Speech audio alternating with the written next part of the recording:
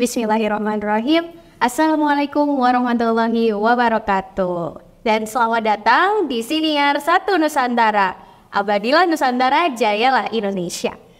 Perkenalkan, nama saya Jila Damira Kusteja, salah satu aktivis peneleh yang kali ini akan menjadi host dalam Siniar Satu Nusantara. Dan kali ini uh, kita mengangkat tema yakni kiprah perjuangan perempuan Nusantara.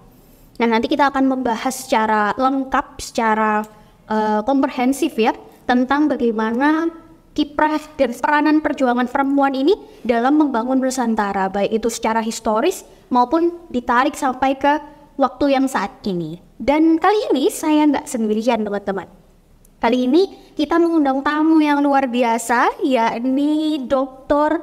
Associate Profesor Dr. Arika Wayanti. Assalamualaikum Ibu Ari. Waalaikumsalam warahmatullahi wabarakatuh. Sehat Bu? Alhamdulillah sehat. Alhamdulillah. Jadi teman-teman uh, perlu kita ketahui bersama waktu bahwa beliau merupakan ketua yayasan peneleh yang utama, juga dewan pakar Peneleh peneleh Research Institute. Betul. Jadi sudah tidak diragukan lagi bagaimana peran beliau sebagai perempuan membangun Nusantara, teman-teman. Luar biasa. Jadi kita mau ngobrolin apa? Science. Kita akan membahas tema ini dengan eh, beberapa poin, Ibu Ari. Siap. Nah, yang pertama itu adalah peran perempuan sebagai madrasah pertama peradaban gitu kan. Biasanya kan kita tahu bahwa ibu itu merupakan madrasah pertama buat anak-anaknya gitu ya. Nah, tapi ini peran perempuan sebagai madrasah pertama peradaban. Menurut Ibu Ari, apa pandangan Ibu Ari terkait kalimat ini? Oke. Ini kalimat yang berat sekali ya Kak Jalan ya. Karena sudah madrasah, madrasah peradaban. Hmm. Sebetulnya kalau kata madrasah sendiri dalam bahasa Arab itu dari kata darasa. Ah, darasa itu apa? Masih ingat pelajaran bahasa Arab? Di sekolah itu saya belajar, daras itu artinya sekolah, eh belajar. Belajar. Belajar. Jadi madrasah itu adalah tempat belajar. Nah, kalau kemudian kita bawa ke perempuan nih, kira-kira perempuan sebagai atau ibu sebagai tempat belajar pas nggak kira-kira? Nggak cuma tempat sebenarnya Ibu ya. Bener banget. Jadi kalau kita bilang ini ada sekolah nih tempat belajar, tapi kalau sekolah nggak ada gurunya, nggak ada ilmunya, nggak ada siswanya, bukan sekolah gitu ya. Jadi saya rasa perempuan sebagai madrasah peradaban itu tidak sepenuhnya salah, tapi juga sebetulnya sedikit mengecilkan. Karena ibu atau perempuan itu sebetulnya adalah lautan ilmu ya bagi anak-anaknya, nggak cuma tempatnya doang ya. Nah, tapi yang kalau kemudian kita tarik lagi nih, kira-kira kapan ya seorang perempuan itu mulai mendidik anaknya? Menurut Mbak Jilan kapan? Eh, mungkin dari dalam kandungan Hmm, dalam kandungan ya. Nggak salah, tapi sebetulnya kalau kemudian kita tarik lebih jauh lagi, mendidik anak itu saat memilih jodoh, Mbak Jilan. Oh jauh. Oh, jauh banget ya. Jadi kalau kita lihat Al-Quran mengajarkan di An-Nur ayat 26, perempuan-perempuan baik untuk laki-laki baik, perempuan keji untuk laki-laki yang keji. Ah, ini menarik sekali. Artinya apa? Kita sebagai perempuan tuh harus sadar bahwa kita tuh membawa rahim, di mana rahim itu suatu saat akan menjadi tempat dilahirkannya manusia-manusia yang akan mendidik dan akan memimpin Nusantara kita ini. Berat sekali kan tiba-tiba tanggung jawabnya. Jadi nggak boleh macam-macam, nggak sembarang orang bisa kita perkenankan untuk menanam benih itu di rahim kita. Nah, artinya apa? Mendidik itu memulai dari memilih jodoh yang pas. Nggak pernah mikir sampai situ ya? Yuh, Tahu sekali ya. Nah, jadi ya bagi teman-teman yang belum memilih jodohnya, nah, pikir baik-baik gitu ya. Siap. Nah, kemudian biasanya kalau kita bicara tentang mendidik, itu mendidiknya kapan ya? Kalau anaknya udah lahir ya, oh, kelihatan kita didik. Padahal sebetulnya nggak juga. Mendidik itu mulai setelah memilih yang baik ya, jodoh yang baik. Mohon maaf bahkan saat bergaul sebagai suami istri. Nanti kemudian saat anaknya di kandungan, nah anak di kandungan itu sudah mulai diajarkan itu. Ajarkan apa? Diperdengarkan ayat suci Al-Quran, dibacakan cerita, diajak dialog. Ah, keren sekali itu supaya nanti si anak itu sudah mulai meresapi apa yang kemudian disampaikan oleh ibunya. Karena bonding antara ibu dan anak itu kuat banget. Nah, nanti kalau anaknya lahir baru tuh mulai kita mm, melakukan banyak hal yang kemudian berinteraksi dengan anak supaya anak itu bisa tumbuh dengan maksimal. Kak Jilan sendiri merasa nggak bahwa ibu, ibunya Kak Jilan siapa sih? Disclaimer teman-teman, ibu saya. Oke, jadi pernah ngerasa gimana tuh uh, dididik oleh ibunya Kak Jilan? Gimana ya? Eh, Saya ingat dulu tuh waktu saya kecil, nggak tahu ya. Ibu inget ya ya. Jadi waktu saya kecil di setiap sudut rumah, di setiap perabot ini kayak misalnya di meja, Meja. itu ditempel tuh, tempel seret, ada tem- tulisannya meja eh, garis miring table. Yes.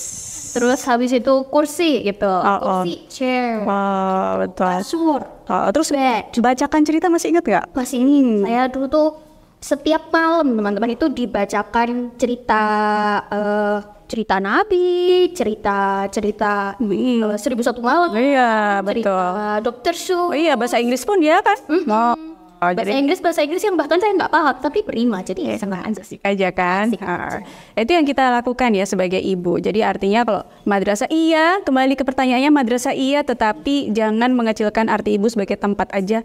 Ibu tuh lautan ilmu dan ibu mulai mendidik kapan? Mulai dari Pilih jodoh. yes, memilih jodoh. Oke, gitu kira-kira Kak Jilan. Jadi peran perempuan dalam eh, menjadi madrasah pertama peradaban itu nggak sekedar waktu jadi ibunya ya, jadi Betul. waktu jauh sebelum Jauh sebelum itu.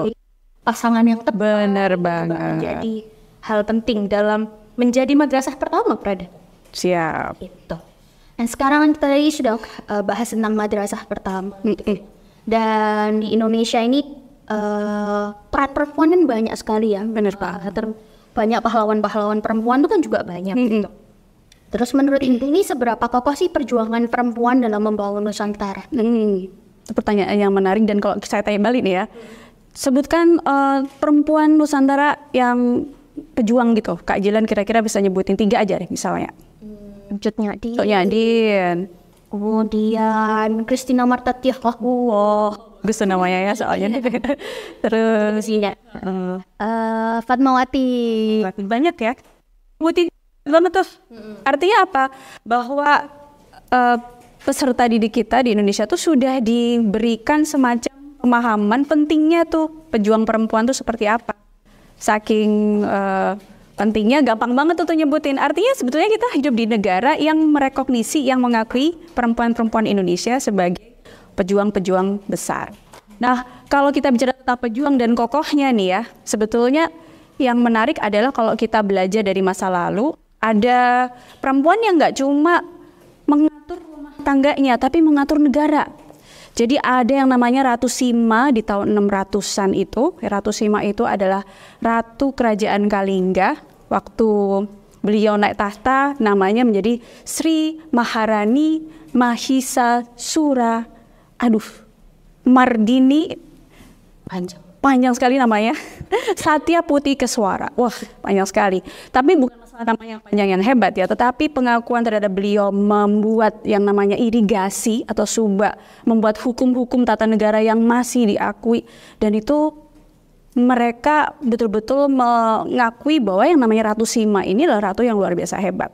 Nanti kita bicara tentang Gayatri ya itu Ibu Dr. Nofrida tuh ahlinya ahli kalau bicara tentang Gayatri perempuan di balik jayanya Majapahit Tribuana Tunggadewi dan yang menarik nih kemarin saya baru ngobrol sama Pak Aji nih ya Dewan Pembina kita Eh, pernah tahu nggak lagu Nenek Moyangku Seorang Pelaut Eh, gimana tuh lagunya masih ingat nggak?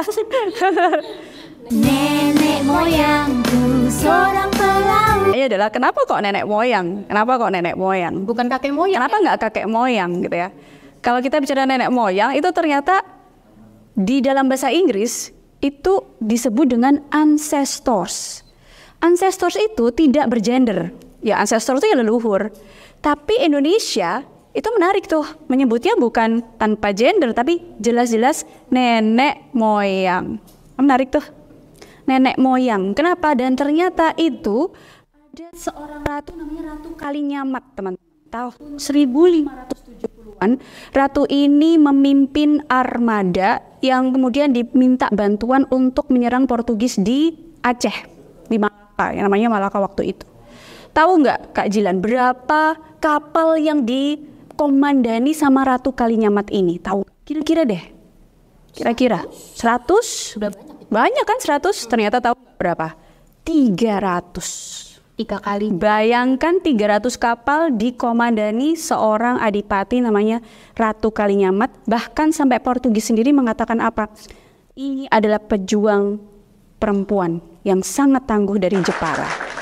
Nah, artinya kalau bicara kokoh tuh ya, sampai jadikan lagu tuh nenek moyang. Kenapa? Karena Ratu Kalinyamat bukan kayak moyang, bukan versi eh, barat yang tanpa gender. Eh, itu berarti sebetulnya kita mengakui sekali bahwa perjuangan-perjuangan perempuan ini sangat luar biasa untuk menegakkan eh, Indonesia atau Nusantara yang kita cintai ini. Gitu Kak Jilan. Berarti perjuangan perempuan di Nusantara tidak hanya ada, tapi juga kokoh seperti bahkan Betul. dari zaman-zaman kerajaan pun kita tuh sudah uh, memiliki para pejuang perempuan yang membangun Nusantara sebegitu hebat. Benar banget. Mm-mm. Tuh. Kemudian Bu Ari ini kan eh, sekarang tuh kita mendengar istilah dua istilah ya. Ada yang namanya perempuan, ada juga namanya wanita. Hmm, betul. Apakah ada eh, kajian filosofis di baliknya Bu Ari? Kenapa dibedakan? Berat sekali ya, filosofis ya. Wanita itu berasal dari bahasa wanita atau bahasa Sanskerta, artinya yang diinginkan. Yang diinginkan berarti objek atau subjek tuh kira-kira Kak Jilan? Objek. Objek dong, sesuatu yang diinginkan tuh sesuatu yang kita harus dapetin, sesuatu yang kita kayak trofi kita koleksi. Sehingga wanita kalau lihat dari sejarah etimologinya ya begitu, sesuatu yang diinginkan. Nah, kalau diserap dalam bahasa Jawanya wanito itu wani ditoto, berani untuk ditata, harus patuh terhadap aturan-aturan dan seterusnya. Nah, perempuan itu kalau usul katanya adalah empu sama tuan. Jadi dia adalah empu yang menyokong dirinya sendiri, tuan. Dia menjadi tuan bagi dirinya sendiri. Oleh karena itu, kata-kata perempuan itu adalah kata yang mengandung makna ketangguhan atau mungkin pemberontakan tanda kutip terhadap operasi laki-laki. Sehingga tahun 1928 kongres pertama itu tentang perempuan itu disebut dengan Kongres Perempuan Indonesia Desember 1928. Nah, secara politis ini menarik nih Kak Jilan. Karena Menteri eh, Kementerian ya Negara Republik Indonesia itu kemudian punya Kementerian Menteri Negara urusan peranan wanita. Nah, itu sampai era Soeharto masih dipakai. Begitu kita masuk ke era Gus Dur, nah kita masuk ke era Gus Dur, itu sudah menjadi Menteri Negara Pemberdayaan Perempuan. Nah, itu kan menarik tuh dari wanita ke perempuan. Jadi karena tadi bagi feminis suka banget tuh kata perempuan, tidak suka kata wanita. Karena tadi kan Wani ditoto. Iya ditata-tata. Nah, tapi walaupun demikian, secara kekinian, kekinian, sebetulnya udah mulai luntur sih perbedaan ini. Kalau kita bilang eh, wanita, eh, apa lah, entrepreneur wanita, pebisnis wanita atau pebisnis perempuan, yang mana nih didengerin? Biasanya pebisnis wanita. ya. Nah, benar kan? Jadi sekarang sebetulnya makna-makna itu sudah mulai cair. Tapi secara filosofisnya sih gitu. Iya, ini. Jadi perempuan, empu tuan, Empu tuan. Diri Iya, oh, betul. wanita wani ditoto. Mm-mm. Atau trofi tadi ya Bu Ari ya. yang diinginkan. Oh, sesuatu yang diinginkan. Betul banget. Iya, iya, iya. Dan eh, tadi kita sudah bahas juga kan dari historisnya, filosofisnya, ya Bu. ya. Kemudian mungkin kita ke saat ini nih Bu Ari. Eh, bagaimana kita sebagai perempuan atau mungkin teman-teman penonton ini sebagai perempuan Mm-mm. itu memiliki kontribusi yang nyata dalam pembangun peradaban Nusantara. Oke. Saya pikir ada dua poin yang harus kita pahami ya. Poin pertama adalah kesadaran tadi. Perempuan tadi loh nggak sadar bahwa dirinya itu adalah tempat di mana nanti pemimpin-pemimpin besar dunia itu akan dilahirkan. Perempuan itu adalah pembawa rahim yang mulia. Kalau di Jawa itu ada lingga dan yoni. Nah, lingga dan yoni itu suatu makna kesuburan dan itu nggak sadar sekarang. Sehingga makanya ada apa istilah itu sekarang? Ya nggak mau anak tuh child free. Ah, child free. Ah, itu kan sebetulnya bentuk ketidaksadaran tentang luar biasanya perempuan sebagai pembawa rahim, pembawa kemuliaan dunia. Karena kalau tanpa perempuan nggak ada tuh lahir pemimpin-pemimpin dunia. Jadi kesadaran itu yang pertama. Kesadaran yang kedua adalah apa? Bahwa kontribusi itu macam apa sih kalau kita mikir kontribusi ya? Kita harus paham dulu bahwa manusia itu punya siklus hidup.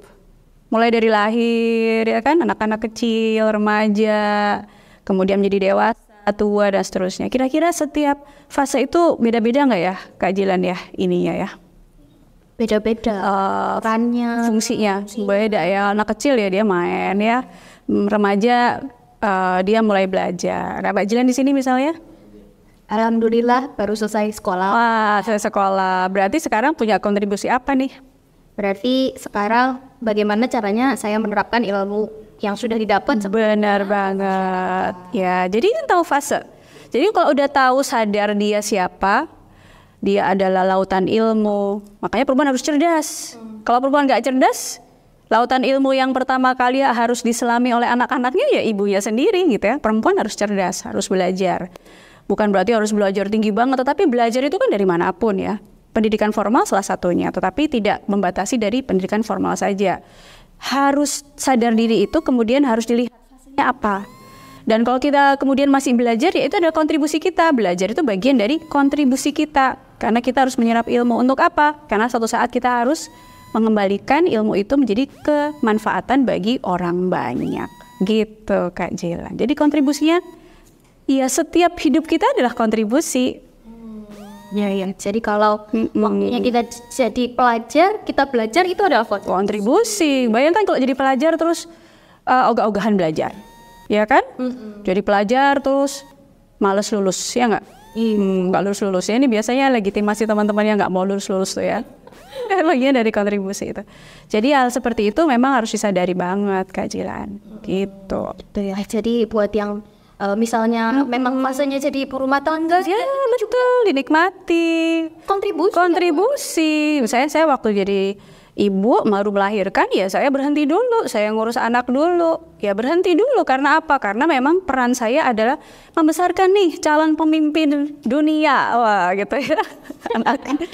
ya, setiap ibu punya punya peran yang seperti itu, harus membesarkan calon-calon pemimpin dunia dan kita tidak underestimate anak setiap anak tuh pasti punya kelebihan dan gimana kita nggak bisa mengeksploitasi kelebihan itu eksploitasi dalam dalam tanda kutip ya kalau kita sebagai ibu tidak pernah meluangkan waktu. Jadi nanti teman-teman ya para ibu-ibu perempuan di sana janganlah dititipin ke babysitter.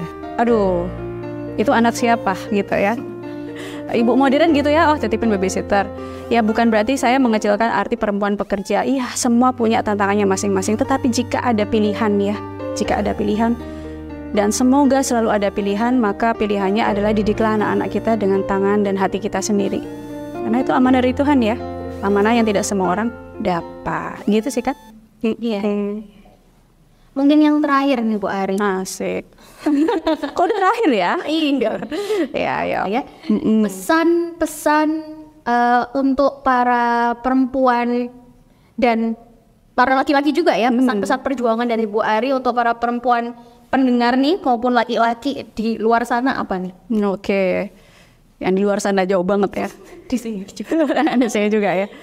Eh, saya selalu suka eh, khairun nas anfa'uhum linnas. Jadi sebaik-baiknya manusia adalah Yang bermanfaat. ya bermanfaat dan baik paling baik untuk sesamanya. Jadi itu sebetulnya adalah pesan yang menurut saya harus dibawa setiap orang yang kemudian paham tentang jati dirinya, paham tentang tugasnya, tanggung jawabnya di dunia ini dan nanti itu yang akan kita bawa ke akhirat.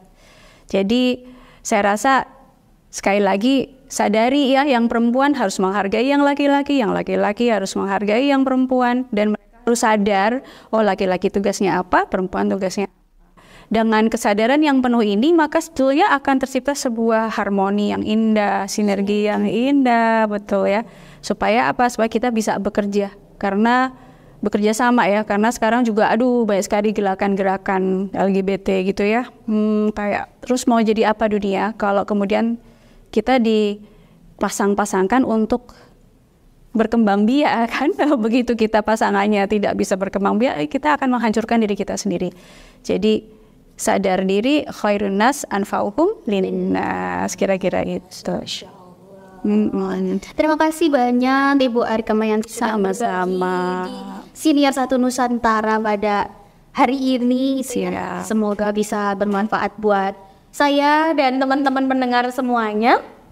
Itu mungkin Pak kami pamit undur diri. Saya Jilan Nabila Kusteja sebagai host dan Ibu Ari sebagai tamu pada uh, siniar kali ini. Pamit undur diri. Sampai ketemu di satu Nusantara berikutnya. Satu Nusantara, abadilah Nusantara, jaya. jayalah Indonesia Sampai ketemu. Wassalamualaikum warahmatullahi wabarakatuh.